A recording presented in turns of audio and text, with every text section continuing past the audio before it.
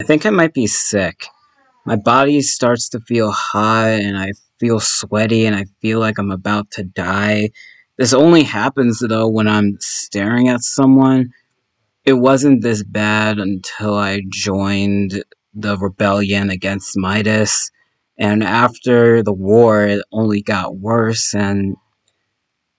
Glimmer, am I dying? You're not dying, Steven. It's called a crush. So, who were you staring at when this was happening? I was staring at you.